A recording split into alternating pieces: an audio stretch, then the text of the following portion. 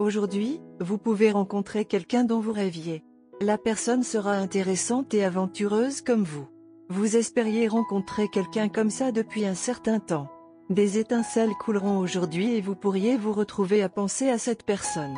N'oubliez pas de donner subtilement un indice sur votre goût pour cette personne. Carte de tarot d'amour. La carte de tarot d'amour pour aujourd'hui est la grande prêtresse. La grande prêtresse vous conseille d'écouter plus profondément votre intuition. Votre sagesse intérieure, plutôt que les conseils d'amis, vous aidera à trouver un épanouissement romantique. Faites attention à vos rêves, ils pourraient abriter des messages pour vous guider. C'est une période de nidification et de retraite. Les couples profitent du temps passé seuls ensemble plutôt que de socialiser avec les autres. Si vous êtes célibataire, n'oubliez pas de vous nourrir et de vous faire dorloter. Les soins personnels vous donnent un éclat bruni qui rend les autres plus attirants. Si votre vie amoureuse n'est pas satisfaisante, faites attention à votre maison, en particulier à la chambre à coucher.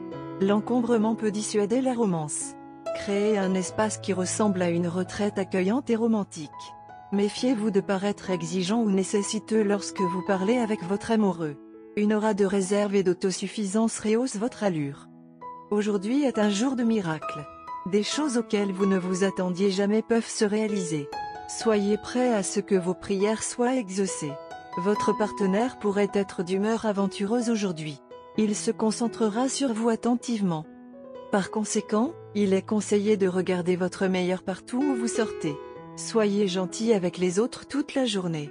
Une activité philanthropique sous forme de don ou d'aide aux personnes âgées sera une bonne idée. Ça pourrait aider.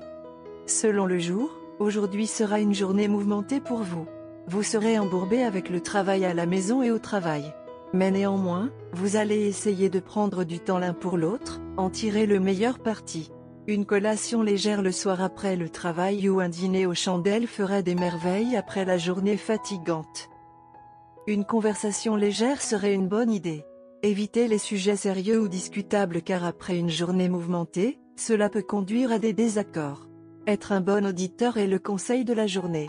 Attendez-vous à ce que beaucoup d'appels téléphoniques soient échangés car vous vous manquerez l'un l'autre. Vous êtes tous les deux des personnes partageant les mêmes idées qui ont beaucoup en commun, allant des intérêts aux activités. Par conséquent, vous n'êtes jamais à court de sujets de conversation et ne vous ennuyez donc jamais les uns avec les autres. Un soutien constant est ce que vous êtes l'un pour l'autre et si vous pouvez travailler ensemble, cela peut se terminer par une relation heureuse et durable. Couleur chanceuse, noir. Numéro porte-bonheur, 2, 7, 35, 48.